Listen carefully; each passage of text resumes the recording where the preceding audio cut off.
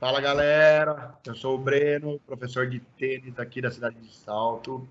Eu estou aqui com um parceiro nosso, Lucas Aripone, para a gente falar um pouco sobre bolsas é, universitárias fora do país. Ele vai se apresentar aí para a gente, falar um pouquinho aí da, da, da experiência dele, da empresa dele aí. Pode falar para a gente, Lucas. Tudo bem, Breno? Tudo bem, pessoal? Prazer enorme estar junto com vocês hoje. Obrigado, Breno, pela, pela oportunidade. Acho que a gente vai falar bastante uh, pontos interessantes que acredito que muitos tenham interesse em, em saber mais detalhes, né? principalmente sobre o esporte universitário americano. Uh, me apresentando rapidinho, meu nome é Lucas Ariboni.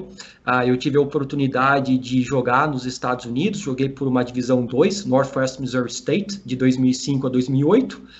Uh, fui assistente técnico da minha faculdade, né, para os dois times na última temporada também, e acabei residindo no país por quase sete anos.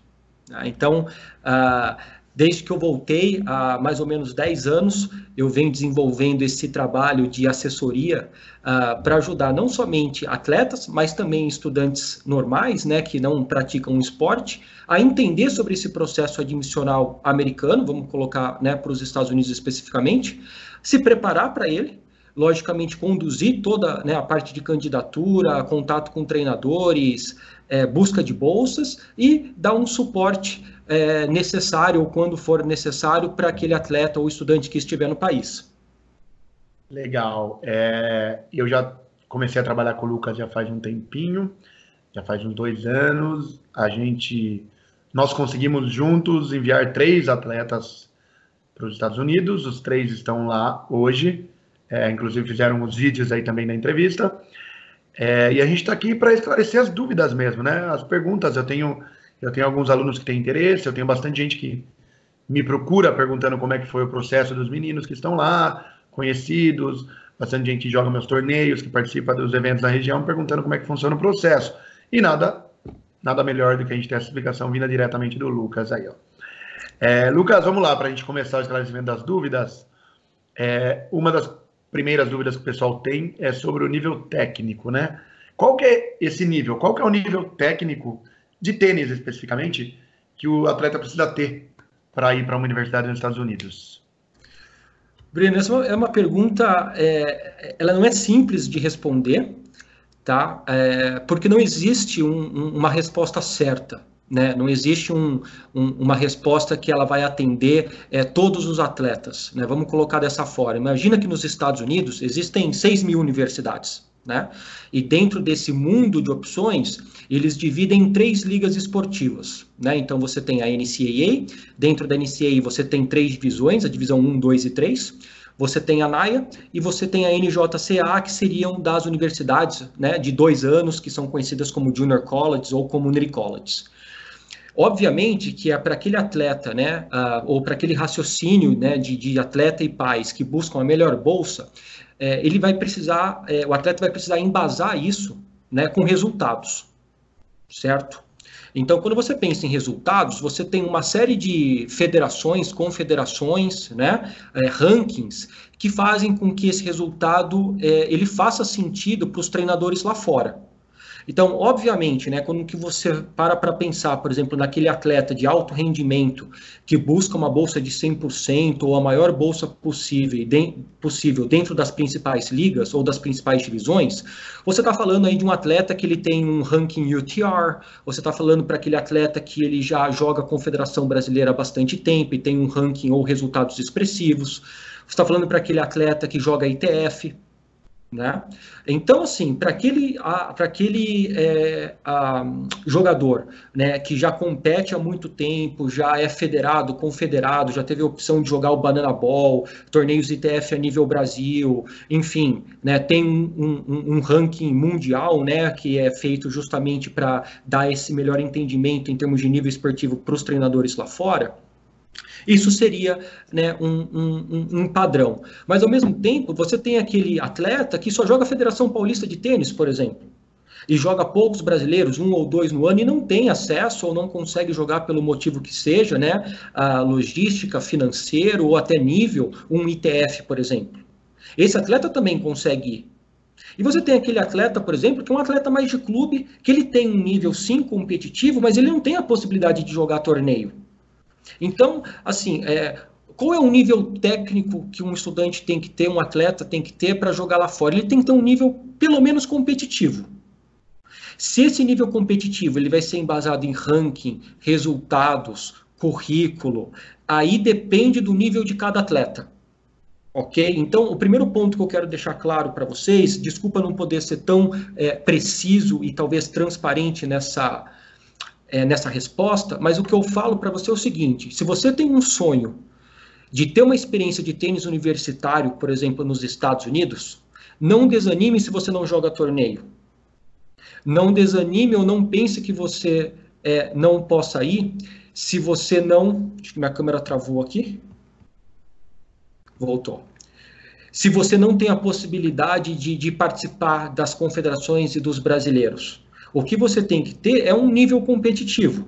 É por isso que o meu trabalho é, junto com os treinadores, dos atletas que me procuram ter um entendimento mais amplo de como que é o nível desse atleta, qual que é o histórico dele, quanto tempo ele vem treinando e no decorrer do processo a gente poder mapear o que precisa ser feito, logicamente em um período aí de um ano com antecedência, né, mínimo 10 meses de antecedência do início da faculdade é, que ele gostaria de cursar, para que a gente possa é, prepará-lo da melhor forma. Né? Não adianta você pegar também aquele atleta, por exemplo, que ah, eu quero fazer faculdade nos Estados Unidos, então eu tenho que sair jogando todos os, todos os ITFs, todos os brasileiros. Não. Né? Isso tem que ser muito bem planejado e, e tem que ser feito com uma orientação de um profissional, que ele entenda esse processo, entenda quais são as métricas que são utilizadas, porque eu já trabalhei, por exemplo, com atletas de tênis que não eram nem federados. Eles foram, tiveram uma experiência fantástica, começaram numa junior college, depois se transferiram, jogaram os quatro anos com bolsa nos Estados Unidos. Então, é, esse é o primeiro ponto, né? Aquela coisa que, ah, eu preciso ser número um do Brasil, eu preciso jogar todo final de semana. Não, você não precisa. É, eu, eu, acho interessante isso, né? A gente vê que, que o, a, a oportunidade está aí para vários níveis, né? para o pessoal que compete forte, que está no ITF, né, que seria um, internacional, e para o pessoal atleta de clube, né, tá falando que é uma possibilidade. Tanto que nos três meninos que a gente enviou, hum, eles não jogam, né, nem todos estão participando de, de torneios a, a nível internacional e tal, e eles conseguiram as bolsas, né. É, isso é... é uma coisa interessante, Breno, desculpa te interromper, é, talvez antecipando um pouquinho aí o, né, o, o, próximo tópico que a gente vai falar sobre bolsas, mas hoje um dos principais erros né, que eu vejo é, no Brasil, que muitas famílias deixam né, de seguir em frente com esse objetivo, com essa preparação de estudar fora, elas ficam muito centradas num percentual de bolsa. Então, por exemplo, se você pega uma família de um atleta que não tem essa possibilidade de estar jogando todo final de semana torneio, ou estar tá viajando, ou começou há pouco tempo, ela fica muito presa. Ah, então meu filho não vai conseguir 100% de bolsa, ele não vai conseguir uma bolsa de 90%, isso vai inviabilizar, então é melhor nem começar. É, o que, qual que é o erro disso? Né? É, assim como no Brasil, a gente, nos Estados Unidos, a gente tem faculdades de todos os níveis e todos os valores. Né? Então, é, hoje, por exemplo, existem faculdades onde que a sua moradia, estudo, alimentação e mais o tênis não passam de 10 mil dólares por ano sem bolsa. Qual que é o investimento que essa, essa família teria no Brasil se esse estudante fosse estudar em uma faculdade federal? Porém, quais são os custos de alimentação, seguro de vida, transporte, despesas, locomoção? E se ele fosse é. estudar em uma faculdade particular? É, não, com certeza. Com certeza. Se a gente jogar na, na, na ponta do lápis todos os custos, tudo que inclui, tudo que está incluso na, na, na, bolsa, ou na não bolsa, né? Mesmo sem bolsa, o que está incluso no estudo na Universidade dos Estados Unidos vale muito a pena, né? É, não necessariamente é o, é o, que você falou, as, as, mais caras, né? A gente tem variação de valores, né? É, acredito que você já tenha até falado uma grande parte disso, né? Mas se você puder complementar, é, é, como essas bolsas são concedidas? Quais são os pré-requisitos para a gente, para o atleta, né, para o tenista ou até para o bolsista, né, para ele conseguir essa bolsa? Quais são os pré-requisitos? Vamos, vamos dividir essa, essa pergunta em alguns contextos, né? Vamos pensar então naquele atleta é, de alto rendimento, certo? Que ele já tem um nível competitivo bastante elevado, disputa bastante torneio, já tem um ranking interessante, seja nacional ou internacional. Logicamente que para esse atleta, o cartão de visita deles, o cartão de visita dele sempre vai ser o nível técnico. Né? Então, quanto mais alto o seu nível técnico, maiores as possibilidades de bolsa. Né? Fazendo o gancho da explicação que a gente acabou de dar, mais alto nível técnico, mais embasamento de resultados e rankings você tem que demonstrar. Certo? Uh, porém, né, as ligas esportivas, elas vêm ano após ano é, intensificando algumas regras para que esse atleta, seja de nível elevado ou não, ele possa estar elegível a competir e receber bolsa. Ok? O que significa isso? Né? Uh, aquele atleta de alto rendimento, ele, além de precisar ter um nível técnico elevado, ele também tem que apresentar alguns pré-requisitos acadêmicos, que são exigências mínimas que essas ligas vêm pedindo ano após ano. É, falando de uma forma macro, né? Quais são essas regras? Primeiro, ele tem que ser formado no ensino médio e ele tem que ter pelo menos uma nota acima de 2.3 na métrica americana. Né? Hoje, a métrica americana ela varia de 0 a 4, que eles chamam lá fora de GPA, certo? Aqui no Brasil, na maioria das escolas, vai de 0 a 10, tá. certo? Então, se a gente faz um comparativo, né, o estudante, para que ele esteja elegível nas principais ligas americanas, ele tem que ter pelo menos uma média de formação geral no ensino médio acima de 6,5. Certo. Ah, Lucas, existem exceções, essa é a conta mesmo. Eu estou dando uma estimativa, tá? Estou dando um, um, geral, porque se a gente for falar é, de uma forma bastante técnica e específica, a gente fica três, quatro dias falando sobre regras aqui, tá? Mas o primeiro ponto, ele tem que ter um histórico acadêmico com uma nota mínima de formação no ensino médio, que vai ser levado em consideração primeiro, segundo e terceiro ano, então eles fazem uma média compilada em cima desse, de, desse histórico, ok? Ele tem que apresentar uma prova de proficiência em inglês, que as mais comuns são o TOEFL ou o IELTS. Ok? E dependendo da liga, ele precisa fazer um SAT, que seria o vestibular americano. Ok? Uh, muitos pais me perguntam, ah, Lucas, mas putz, se eu investir só no tênis, né, e tirar a mão do, do, do acadêmico do meu filho, essa é a estratégia mais interessante? Não. Na verdade, hoje um atleta que busca as melhores faculdades com as melhores opções de bolsa, ele tem que ter um equilíbrio entre essas duas métricas, entre essa, esses dois pesos. Além dele conseguir ter um alto nível de desempenho no tênis, subsidiado por resultados, rankings, etc., ele tem que apresentar um histórico acadêmico de alto nível. Tá? Então, imagina que, por exemplo, assim, se eu sou um atleta de alto rendimento, Ótimo, eu vou ter um cartão de visitas técnico de tênis muito grande para que eu esteja competitivo a receber as melhores bolsas possíveis. Se eu sou um atleta mediano, eu tenho que equilibrar essa minha competitividade com o meu histórico acadêmico. Se eu sou um atleta iniciante, provavelmente eu não vou ter bolsa, mas isso não quer dizer que eu vou pagar mais ou esse sonho de estudar fora ele vai ser inviabilizado mas eu vou ter que trazer o meu acadêmico muito mais forte. É. Então, assim, é, é, trazendo o gancho, né, de novo para a primeira pergunta, cada caso é um caso. Então, você tem aquele tenista que por algum motivo repetiu de ano, então a gente tem que analisar isso com uma maior atenção. Você tem aquele tenista que, porventura, estudou à noite para poder treinar mais durante o dia, então ele não deu ênfase no rendimento acadêmico, então as médias dele são mais baixas e talvez a gente vai ter que ter uh, o cuidado com algumas regras que ele pode ser impactado nesse sentido. Você vai ter, por exemplo, aquele tenista que depois de terminar o ensino médio, ele começou a faculdade, trancou e depois ele ficou um ano só treinando. Você vai ter regras que incidem sobre isso, que podem penalizá-lo de alguma forma. Então, se você parar para pensar, quais são os pré-requisitos que podem te dar bolsa e podem te impactar negativamente para você perder bolsa ou não ter bolsa? Né? São as duas, são as mesmas coisas. Nível técnico, histórico acadêmico no ensino médio, nota da prova de proficiência certo? E se a liga ou a faculdade exigir, o SAT no caso dos Estados Unidos. Então, é, é um conjunto de fatores que precisa ser preparado, precisa ser entendido, precisa ser planejado para quando isso tem que ser feito e qual que é a pontuação ou meta dentro de cada uma desses pré-requisitos acadêmicos para que você tenha o melhor composê possível. É legal, é, é, é, interessante que a gente vê que é, um, é, é, meio que analisado caso a caso, né? Porque tem muita variável. Realmente, você ainda deu uma enxugada aí para não deixar tão extenso a conversa, como você mesmo disse, né?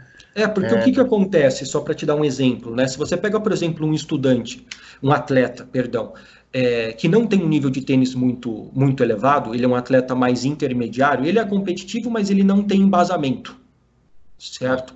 Provavelmente esse atleta ele não vai ir para os Estados Unidos com uma bolsa de tênis, ou se ele for, a bolsa é muito pequena. Certo.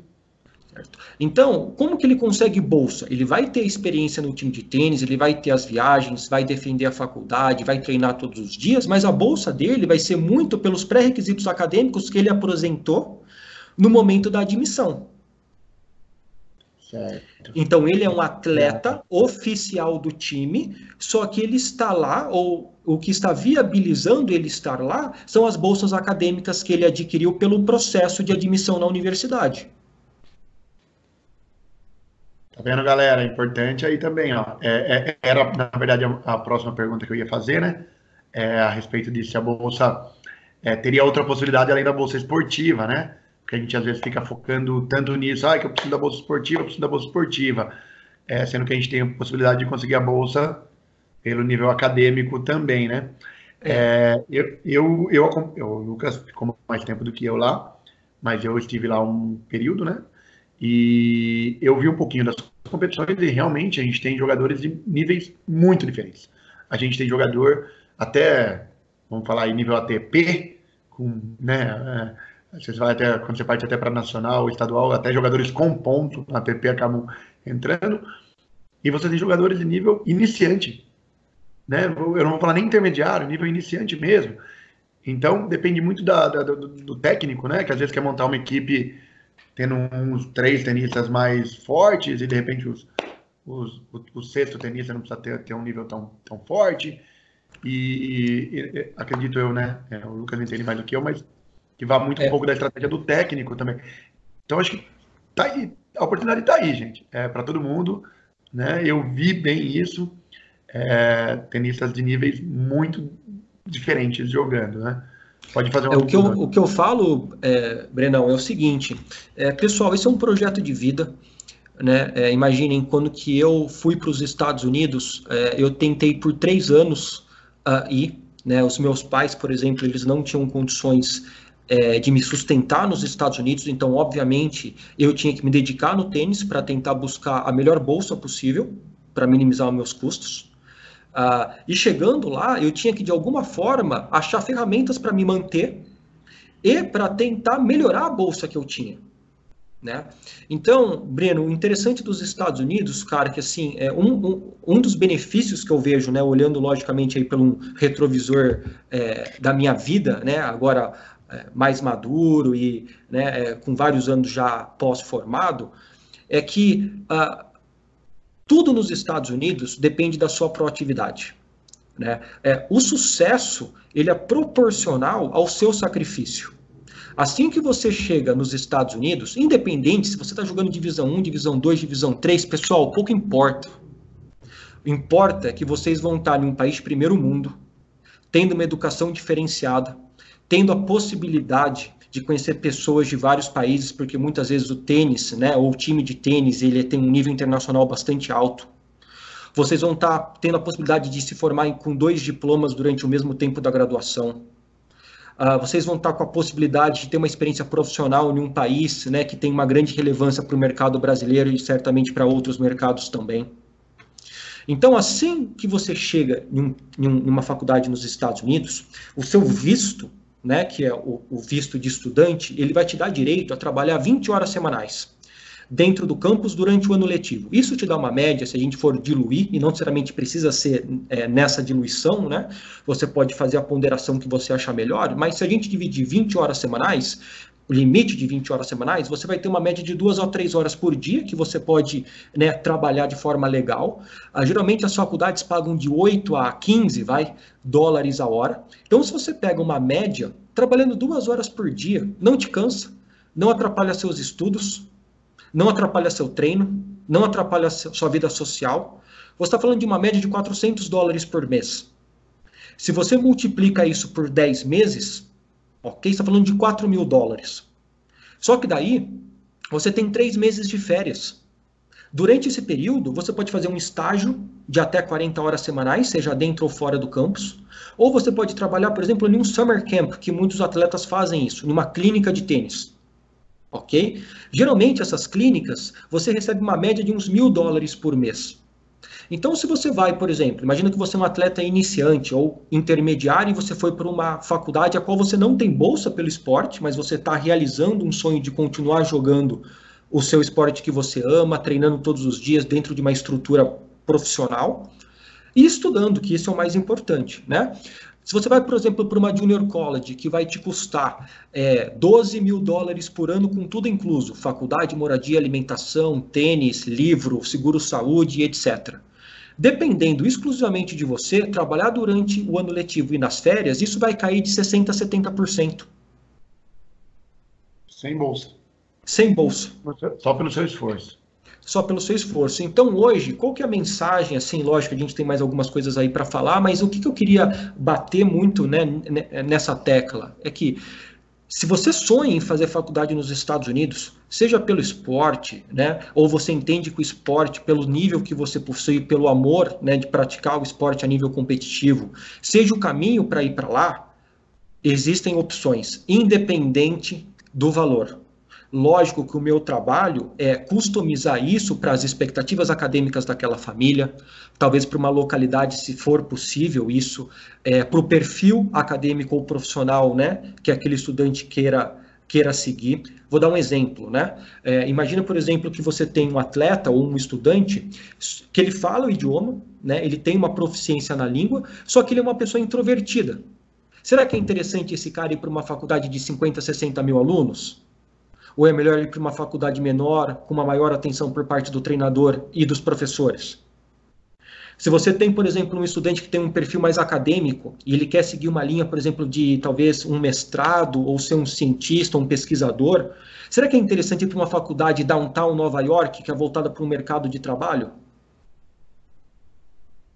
É. Será, por exemplo, que se você está falando com um estudante que tem a vontade migratória e de e tentar né, estressar todas as possibilidades para ficar no país trabalhando, será que se ele for para a Flórida, para Miami, para as costas, será que isso vai ser mais difícil ou menos difícil se ele estiver num estado central, onde tem menos, menos estudantes estrangeiros e que ele é um diferencial por si próprio pela bagagem que ele possui?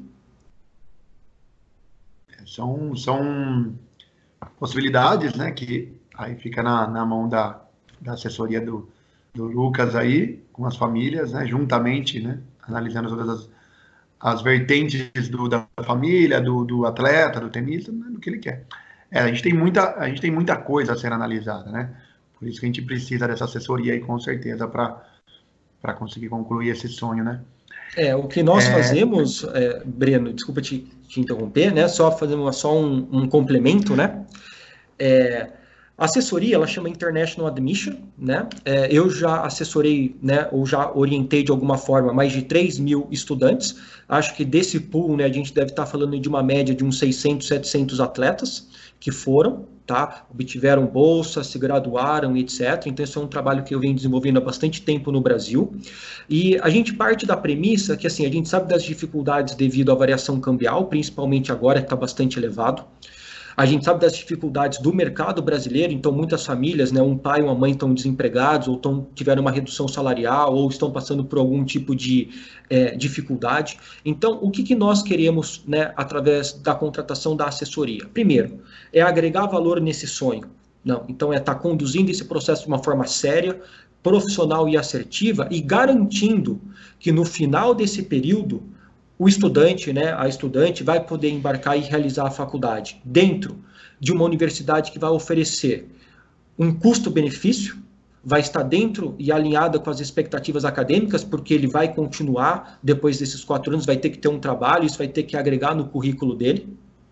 E, logicamente, estressar todas as possibilidades de bolsa. Né? Quanto menos o estudante e a família investirem, melhor para todo mundo. A gente está aqui para viabilizar esse projeto, passar por todos esses pré-requisitos, todos esses desafios, todas essas dificuldades juntos e poder estar realizando o sonho desse pessoal, seja de um estudante acadêmico ou seja de um estudante atleta que vá buscar competir dentro de uma faculdade americana.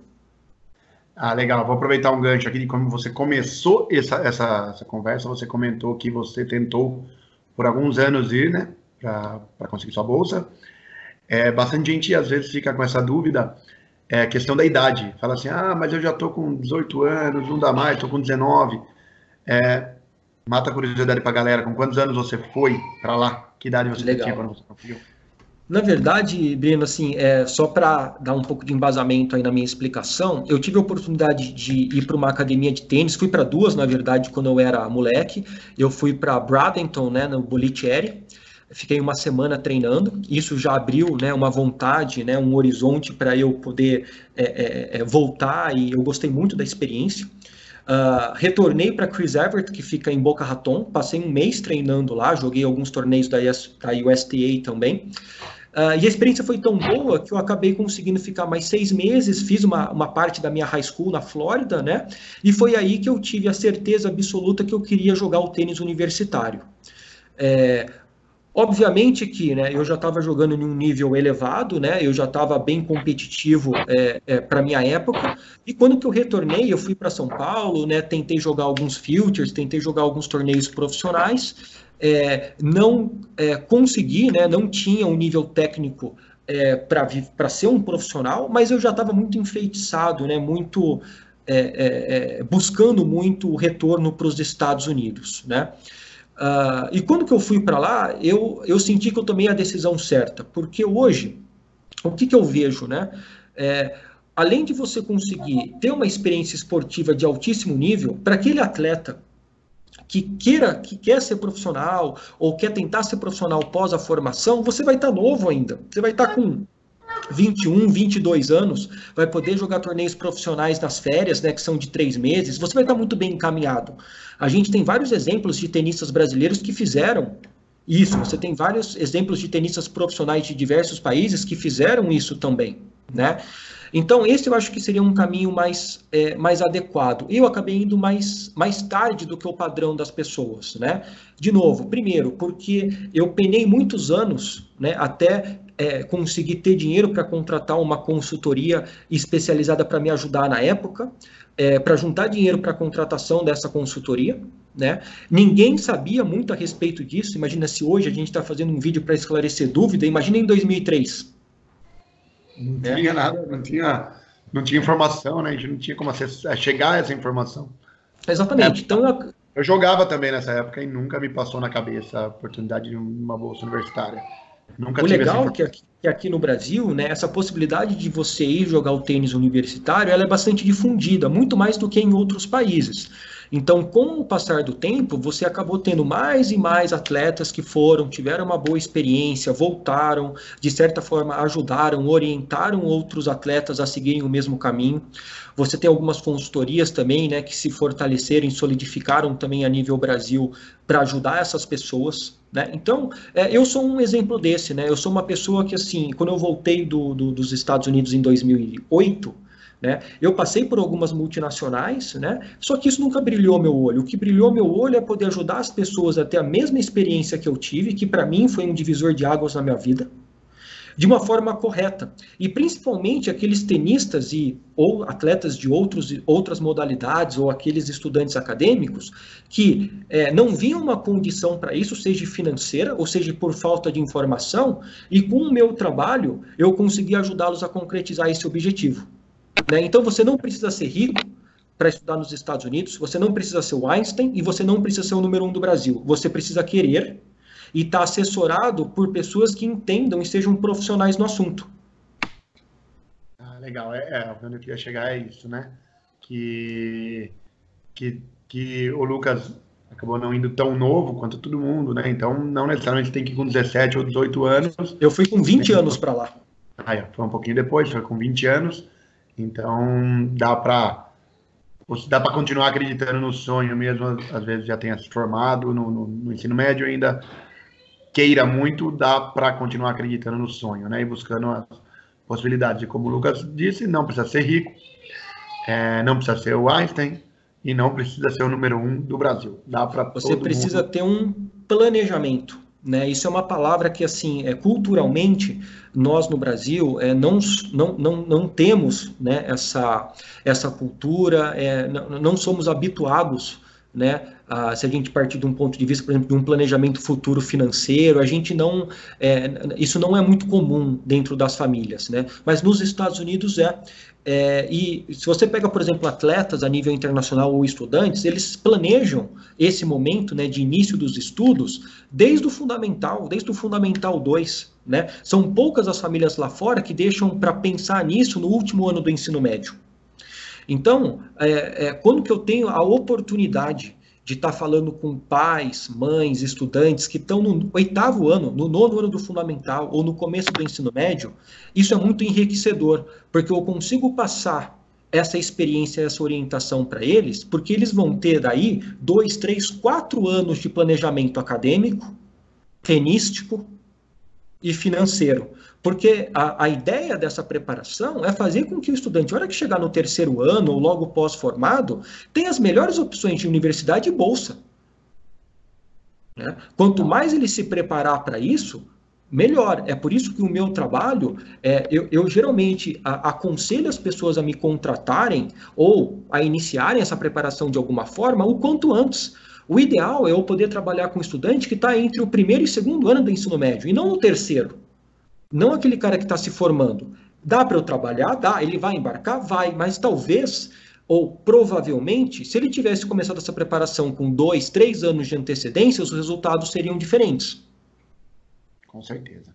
É, uma, outra, uma outra dúvida, a turma tem bastante dúvida aqui no Brasil, porque aqui a gente, a gente não tem essa divisão, né? A gente tem Junior College e as Universities, é isso? nos Estados Unidos, isso, né? Isso mesmo, né? A gente fazer uma recapitulação aqui, é, você tem, né, uh, dentro das, você tem dois grupos de faculdade nos Estados Unidos, tá?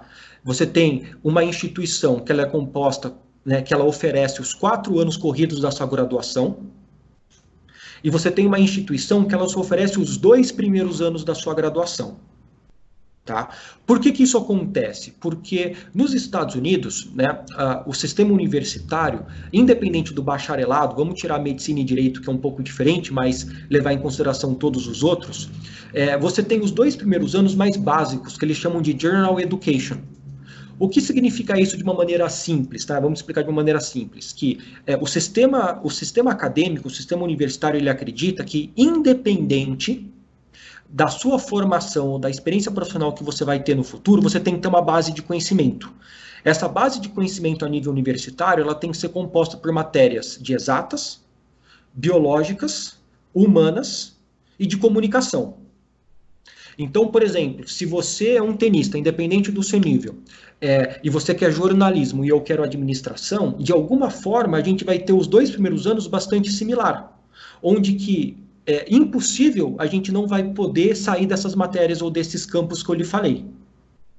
Então, imagina que se você vai para uma faculdade de quatro anos corridos, você vai ter os dois anos introdutórios ou gerais aí, e depois você vai continuar com matérias específicas do seu bacharelado de escolha na mesma instituição. Se eu vou para uma instituição de dois anos apenas, essas instituições que são as chamadas é, community colleges ou junior colleges, elas vão oferecer apenas os dois anos introdutórios. E daí, uma vez que eu, complete, que eu complete esses dois anos, eu vou me transferir para essa instituição de quatro anos e começar as matérias específicas do meu bacharel. Então, se você para para pensar, por exemplo, dentro do âmbito esportivo, as faculdades de quatro anos corridos, elas oferecem duas ligas.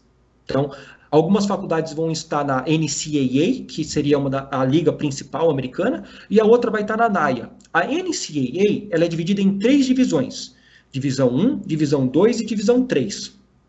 Ok? A divisão 3, se você para para pensar é, do ponto de vista esportivo, ela tende a ser mais fraca que as demais porque ela não oferece bolsa esportiva, apenas bolsa acadêmica. Então, se você pega atletas de alto rendimento, provavelmente eles não vão se, se sentir atraídos para jogar por essas universidades. Ok? Que tipo de atleta joga aí? É um atleta que ele é competitivo, mas a bagagem acadêmica é muito superior à bagagem esportiva. Ok? As divisão 1 e 2, elas são semelhantes, tá? Lógico, se você pega, por exemplo, as faculdades de divisão 1 no tênis, melhores ranqueadas, elas vão ter melhores jogadores ok? Mas a experiência esportiva, tá? Que um atleta de divisão 1 um atleta de divisão 2 vai ter, elas são idênticas. Eles vão ter treinos diários, eles vão viajar junto com o time, geralmente as faculdades oferecem algum tipo de patrocínio de vestuário, eles vão jogar os torneios né, da, da, da conferência, dos regionais, se qualificar para os nacionais eles vão jogar. Então a experiência ela vai ser a mesma. A diferença é que as faculdades de divisão 1, elas oferecem mais bolsas, porque o orçamento é maior, ok? E elas vão, elas vão oferecer no campus mais esportes. Consequentemente, tá, isso não é uma regra, os campos e os volumes de estudantes dessas instituições são maiores. Se você pega uma divisão 2, ela vai ter menos bolsas que são oferecidas, e geralmente são faculdades menores porque elas oferecem menos esportes também. Legal. Ok? A NAIA, que seria a outra divisão dentro da estrutura de quatro anos, ela não tem essa quebra. E ela nasceu de instituições que estavam na NCAA e quiseram criar uma liga independente. Hoje a NAIA, né, ela tem muitas universidades, é, é, é uma liga muito forte, ok? a maioria dos atletas que vão para lá tem uma experiência fantástica. Então, assim, né, é, é, lógico, né, tem muita gente que vai estar tá escutando isso e vai estar tá me crucificando. É, mas, de novo, né, a gente está falando para um público que a gente não quer que ele se prenda. Ah, eu não vou para uma faculdade se ela não for divisão 1. Não. A mesma experiência que você vai ter em uma divisão 1, você vai ter em uma divisão 2. Não se iluda ou não desista do seu sonho de fazer uma graduação fora, a qual vai te agregar uma quantidade de benefícios gigante porque você não está jogando numa divisão 1. Pouco importa isso. O que importa é que você vai estar jogando um tênis de alto nível pelos próximos 4, 5 anos da sua vida universitária. Você vai ter acesso a um estudo de altíssimo nível. Você pode ter a possibilidade de ter um excelente custo-benefício se comparado ao Brasil, dependendo das bolsas e da sua meritocracia durante os seus estudos.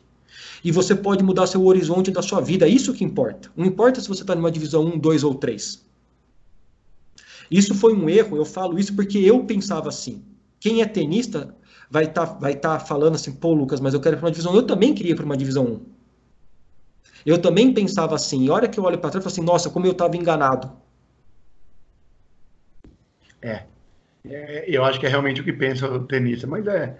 Acho que isso vem muito do tenista já de, de alto nível, muito competitivo, que está treinando, muitas vezes buscando profissionalismo e de repente Sim. vê que o caminho é mais difícil ali e resolve migrar para o universitário e acaba botando na cabeça que tem que ser divisão 1, mas está bem esclarecido que temos muita possibilidade. E, Uma outra coisa que eu queria compartilhar com você, Breno, que eu acho que pouca gente fala sobre isso, ou pouca gente tem esse entendimento, e é uma coisa que eu abordo junto com os atletas que me contratam, independente do esporte, a família tem que estar ciente que quanto mais alto nível que ela quer que o atleta vá estudar nos Estados Unidos, mais ele vai ser cobrado. É ok? Por que, que eu falo isso? É, quando eu resolvi, né, vou falar um pouco da minha experiência particular, tá? É, quando eu resolvi para os Estados Unidos, eu estava cansado de jogar tênis. Né? Estava cansado daquela cobrança de ter que ir para um torneio e ser campeão ou chegar em uma final para fazer jus ao investimento que estava sendo colocado para eu estar tá ali.